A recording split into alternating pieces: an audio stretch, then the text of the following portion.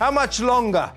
How much longer will we be expected to hand over nearly 160 quid a year for a state broadcaster that serves itself and ignores the people who pay for it? How much longer will the BBC take our money and run? How much longer will this strange, entitled organisation's obscenely overpaid executives keep secrets from the great British public? That funds it. Meanwhile, the broadcasting house crew's refusal to call the murdering baby, beheading, granny killing rapists of Hamas exactly what they are terrorists is a national scandal. The more livid licence fee payers demand the BBC does the right thing, the more the BBC digs its heels in and does the wrong thing, sulking like a naughty school kid caught red handed who won't admit he's been busted, insisting that Hamas are not to be classified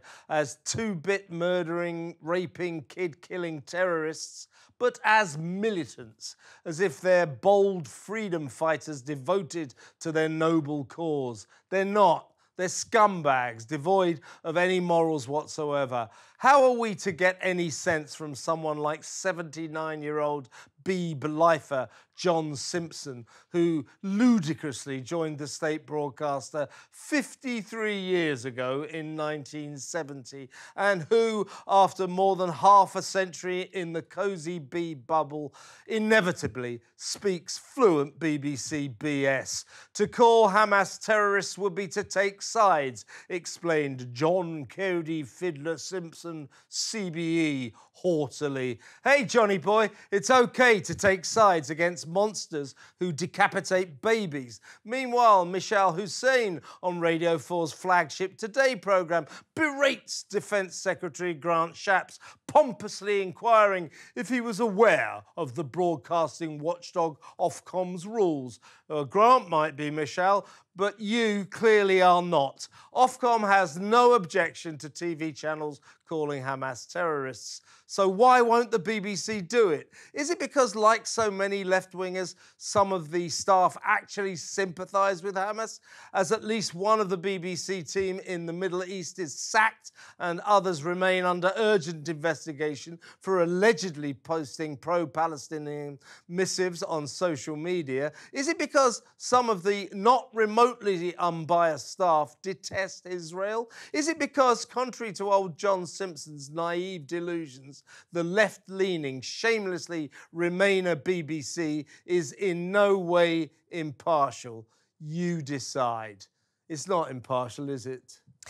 Well, I'm fed up to the back teeth of the BBC. And if they want to spin whatever rhetoric they want to spin, they should not rely on taxpayers' money because they're finding it incredibly difficult to be non biased. However, when it comes to the Palestine conversation, I do think that they need to try and remain balanced because, as we've seen, we've seen so much misinformation, disinformation online. Whether did they behead babies? Did they do this? Did they do that? And I think it is difficult. Well, they did behead, behead babies. Well, yeah, the Jerusalem Post has established beyond all doubt they beheaded babies. That's not disinformation, that's information. But then it came out yesterday, they said that they cannot confirm to what extent No, who that can't happened. confirm it? But Hamas. that- But, but, Hamas. But, regardless, they should still be calling Hamas terrorists. Whether Hamas did behead Yeah, babies or not, yeah. they are still a terrorist organisation. They did behead babies. And, and the government, if our government is saying Hamas are terrorists, the BBC should be saying they're terrorists. Yeah, I, I 100% agree with calling Hamas terrorists. What they're doing is absolutely vile and disgusting. However, like I said, if they're going to call that out, then they also need to call out Israel for breaking international law. And I think it's very difficult. You have to be very balanced Hang with on, this uh, in, which, in what way has Israel broken international law? Well, collective punishment. What do you mean? Breaking internet when you uh, commit a war crime such as collective punishment where you um, essentially subject the entirety of the population of Palestine Well, to I no don't war, accept they've no done that. war- I don't accept well, they've that. stopped water. That's just an argument. They That's stopped water. argument. They stopped electricity. They stopped food. Amnesty That is- International and UN have said this, said similar to what Lynn May is saying. they they have essentially. Well, I stand with Israel. I don't stand with Hamas. I hope they do stop everything because uh, Hamas and Palestine deserve they- some sort of it's- retribution. No, no, no. I understand Let's that. not let's not go It's down this road. international Poor law. Palestine. They started it, didn't But what they, about the civilians? Well, what about the yeah, children? the civil- what like- about the civilians. this is it. This is it. I'm against Hamas, of course, but I think you can be you can be against Hamas and not be against uh, Gaza. I'm not against them. The thing, I, I'm, very, I'm, very, I'm very worried uh, about the people of Palestine because you have to separate Hamas Mm. from the people that they rule. However, that's the way it goes. Uh, What, breaking international People law? do not declare war on people. Governments declare war on each other, and there's always collateral damage. And JJ, uh, here's the thing. Uh, you are not allowed to support uh, Hamas in this country. You're not Mm-hmm. allowed to demonstrate in favor of Hamas because it is officially a terrorist organisation. organization. Yeah. Uh, this country classifies Hamas as a terrorist organization. Uh, countries all over the world classify it as a terrorist organization. Why won't the BBC?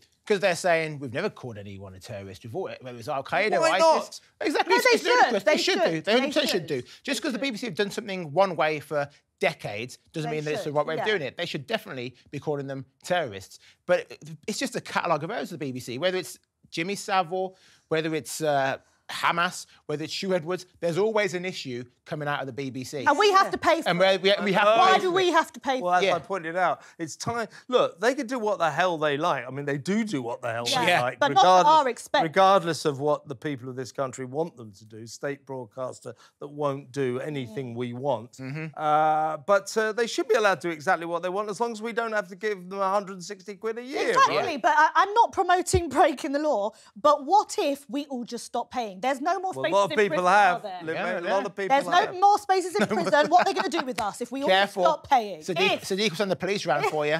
Be careful, mate. You don't want them coming I'll round tell him here. where to go. Two million people have stopped paying their license fee, and uh, us- I'm sure they won't end up in prison. But There's too many people who work at the BBC who are like the BBC. Yep. We, we need more working class people. We don't need all these posh toffs who are in there running it. Same as the Guardian. It's, a, it's the same kind of cabal of people. They're the ones who, who are you don't problem. think we should have too many more John Cody Fidlers? Oh, God, there's- there's too many of them. I know. Too many of and them. also, Or do you people know what? that don't re- represent the majority of, course Britain, like Gary Lineker, is paying paid enormous amounts Over to a say million things, quid. Well, to well, well, well, well. Leave, leave Saint Gary alone. You leave Saint Gary alone. He- I, he- do, he's a I good don't lad. hate him. He's a good lad. However, The man is a living saint. oftentimes he says things and we, we doesn't re- he lives on a higher us. plane to the rest of it. He's a marvellous human being.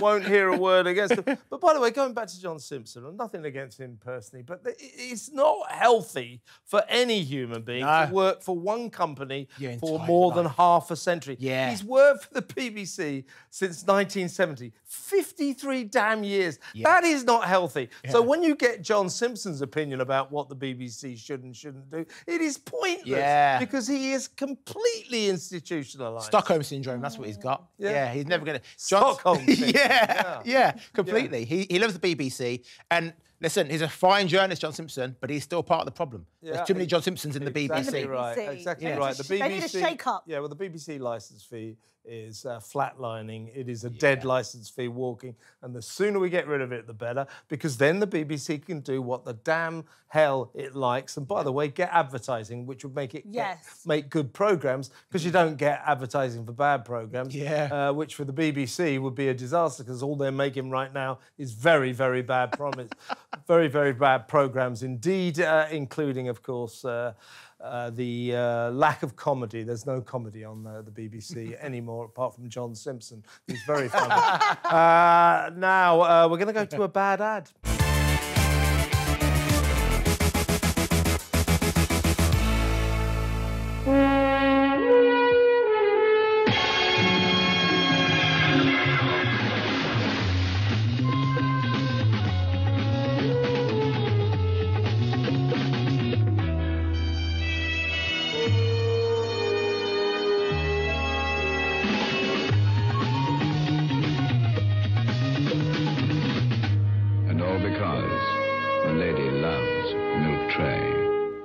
Because the lady loves milk tray, and the, the lady's got no idea what he's been through. She just picked it up. yeah, yeah. sure, yeah, someone left me a box of chocolates. hey, hey, that lady got killed by a shark. that the that whole um, Orcs They Loves Milk Tray, they were cashing in on the popularity of Bond back in the day, yeah, right? and so that's so Bond-esque. Bond-esque. Yeah. Fantastic advert. I was mean, it. that, that was a good advert. When chivalry was chivalry. yeah. But do you think the milk tray man might just look on the basis of that? He's a bit of a stalker. No. He's gone above and beyond, Kevin. We used to love men going to the ridiculous lengths to Trying to kill us- themselves to get you some Yeah, chocolate, yeah, we yeah. like that. Yeah, we we want to see we- you push the boundaries. we for don't us, even know if the lady knows him. yeah. Just, just doing that, some bloke. Get off my boat and stop giving my wife chocolates. You've never met her. Can you imagine? Right, let's do a few. This is the uh, spot in the show where we uh, examine some of my fan mail, uh, some of your fan mail as well. Uh, mean tweets.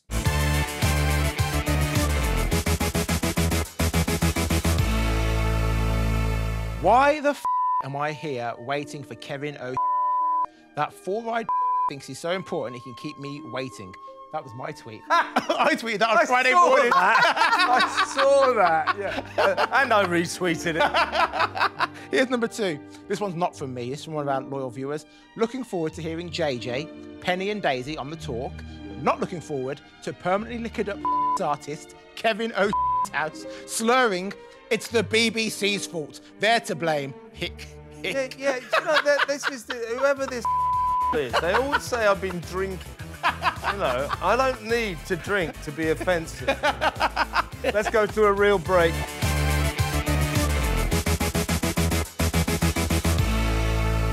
What just happened?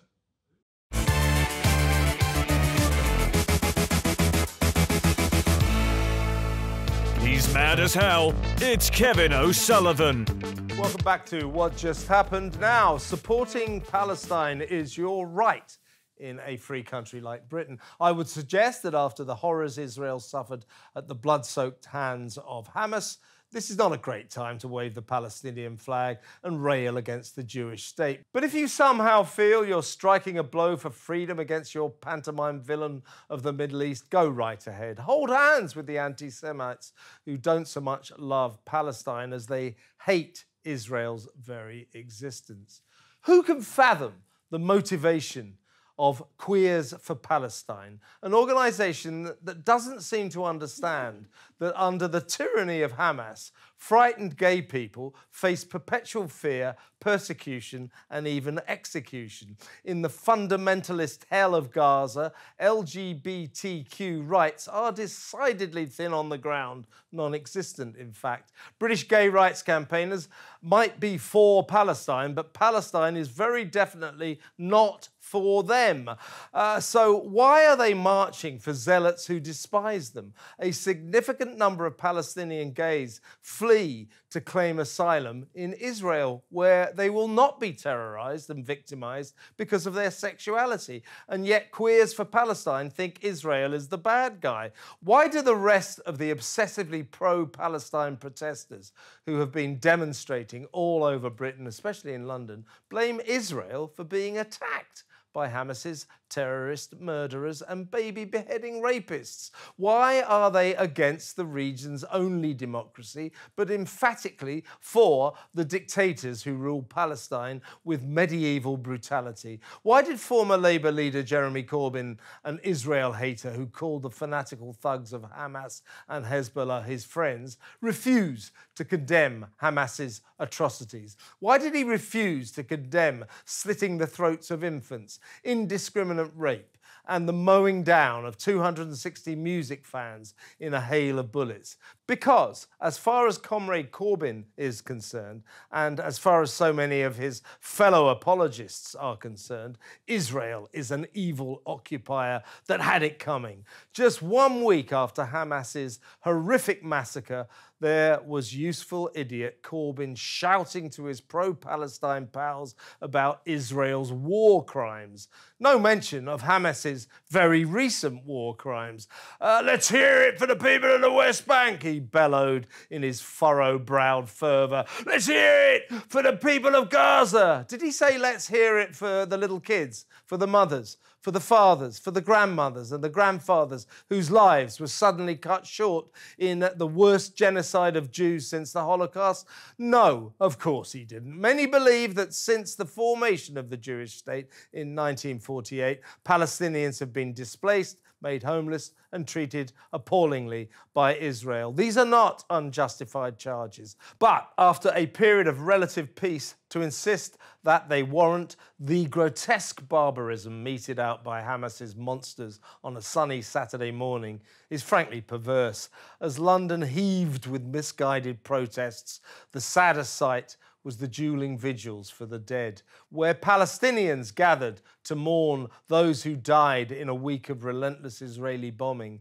They were joined by Brits of all derivations, particularly middle class, middle aged white people, a diverse display of grief and sympathy. Where Jews gathered to mourn their fallen brethren, there were only Jews on their own, still victims of the left wing hardline anti Zionism that looks suspiciously like anti Semitism, with due respect and tears for the suffering of the innocents in Gaza. Hamas started this fight. I stand with Israel. They did start it, didn't they? Well, if we look at Well, the yes period, no? hang on, no, no, no. They start it? No, no. Yeah. If we no, it's a yes no answer. No, no, no, no. It is. We've got to It look is. at the period before They all didn't of this start off. it. Wait, wait, wait. They, we have to look at the period before No, all of this kick. We No, we do don't. because No, since we don't. 2008, over 6,000 Palestinian civilians have been killed. So it's okay what Israel, did no, Israel, Israeli citizens have been over 300. So absolutely not. Ham- Hamas should have never done this. It's grotesque, it's disgusting. But for you to conflate uh, supporting Palestinian civilians, I somehow supporting Hamas See is what I, I completely don't. different. Did you see what I said But then the you end? said it's dangerous to I be said with all due respect and tears for innocent uh, Hmm. Palestinians in Gaza, and I do have sympathy and tears for them. Most Palestinians, I keep saying this, they're, they're the same as everybody else. Most Yeah. people in the world are just trying to get by. So most of those Palestinians crammed into that tiny strip of land uh, are just trying to put a roof over their heads, Yeah. Feed their kids, make a living. You know, uh, they're not politically motivated. It's not their fault. So it is with respect and fear and tears for them. So why don't uh, people But they, they, st- Hamas started it. I'm afraid. But uh, why can't people understand then? If you can understand people are cramped and civilians, thousands have been dying, why can't you go and march peacefully? We know I voted for Brexit. I wanted Brexit to happen. When I went to march, I wasn't one of these ignorant idiots that were racist, deport the whole lot of them. You're going to get idiots at every protest. There were idiots at the Palestinian protest, Good point. but largely the majority of people protesting was in support of the civilians, not supporting Hamas. No, and, uh, you know, and I absolutely, I'm with you on that. I mean, you know, Thanks. it's not, it's not. Well, well, I never said anything else. Hamas are different from the people of Palestine, Yes. from the people uh, trapped in the Gaza Strip, because that's what they are. They are trapped. Uh, and Hamas, uh, it seems to me, JJ, are prepared to sacrifice those poor people Yes, so they're can make Israel look dictators, yeah. bad, right? Yeah, absolutely. Um, and unfortunately, I feel like Israel are playing into their hands. But I can I, can see no other reason, no other way for them to react. If I was an Israeli Yeah. and this growth, these horrible acts have been happening, Yeah. I wouldn't actually have any any kind of sense of. Let me calm down first and think about the long long game. I'd be thinking, let me go in there and get rid of Hamas. Let's hammer them out of there and destroy them. And if there's some civilian casualties, so be it. If it means getting rid of Hamas, But it'll that's that's all. that's what I would be thinking if I was an Israeli. That's exactly absolutely. what they are thinking. Yeah. I mean, they are going to. I mean, the, the IDF, the Israel Defense Force, is a very disciplined army. Yeah. And there are about Yeah. 400,000 of them. Uh, and insofar as they are able to, I think they will show restraint. But JJ's right, mate. that- And I agree. that- Israel that- have a right to defend itself. Yeah, but they, they, they, they have also calculated that civilians are going to die. And a lot will. And they're going to let that happen. Uh, Yeah. And to be honest with you, I do think, uh, what do you think, JJ? I do think that it's incumbent upon Israel. They have to exact revenge. They have to avenge what happened to their people. Otherwise, they're not defending their people. Yeah, absolutely. And uh, some people are trying to say this is now um, Muslim versus Jew. But actually, there, there- there's, there's Muslims in the um, defense force for Israel. But There- there's, also there's- there's- there was a lot there's a lot of Jewish people that actually attended the recent march for Palestine because they also understand that a lot of civilians have died, will die, and thousands Yeah. have died since 2008. yeah, absolutely, absolutely, yeah, absolutely. Yeah. But not every Jewish person in the world is from Israel.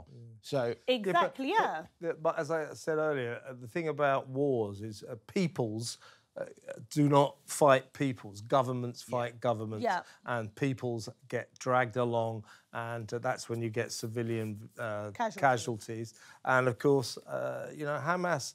They're just theological tyrants. They're thugs, Yeah. and they have misruled the poor people of the Gaza They Strip have. for 13 long years. And if this brings about an end to their disgusting dictatorship, uh, at least some good will come out of this. It is time now, though, far more importantly, for another bad ad.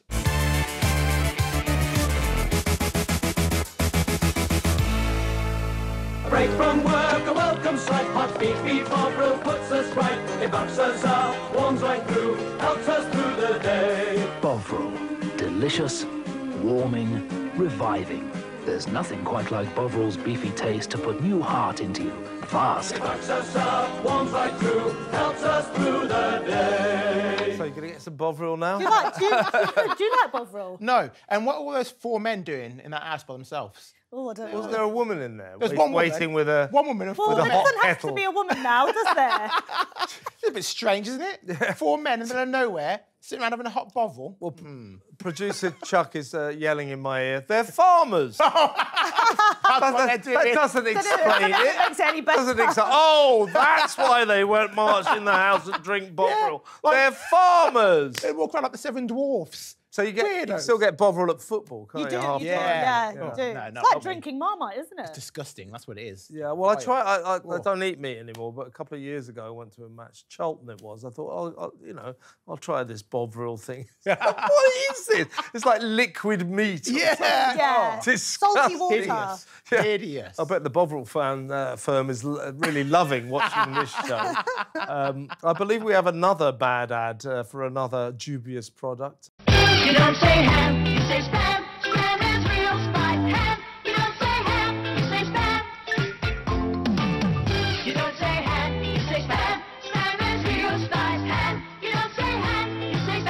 To like spam. I used to love it. I've it. never seen so many options of how to cook Yeah, yeah, yeah. Spam kebab. Spam and corned beef, they were a staple. But you know, corned beef, both spam. I think corned beef definitely was started as a war product. Yeah. Where, you know, they mixed it so they didn't need much meat to make a block of brown Yeah. stuff. Yeah. Uh, and it's now quite expensive and regarded as something of a I like delicacy. corned beef. But ha- Sweet peppers, fry it up. Yeah, but spam never got a good press. But I always liked it as Yeah. a kid, didn't you? I've never had it. spam, Oh, I loved it. Yeah. I don't eat pork anymore, but when I was a kid, I used to love it. Really? No, I've never had it. I'm going to get you a can of spam for your Yeah. birthday. oh, thank you. And I'll get you some uh, corned beef. Add some bovril. Uh, listen, guys, uh, been a great show. Thank you very much, Lynn May, for coming along, and also. yeah, yeah, JJ Anasio, you know, seriously, thanks, mate. As always, that has been another amazing edition of What Just Happened. We'll be back, same place, same time next week.